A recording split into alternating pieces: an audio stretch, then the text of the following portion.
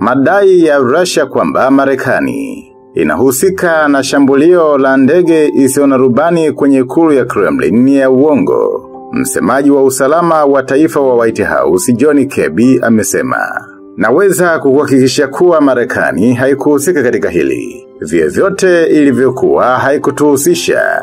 Kebi aliambia MSNBC katika mahojiano.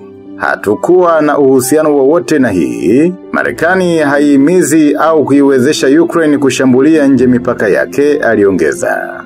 Kebi alisema bado haijulikani ni nini hasa kilitokea katika ikulu ya Kremlin na kwamba Marekani bado inachunguza tukio hilo.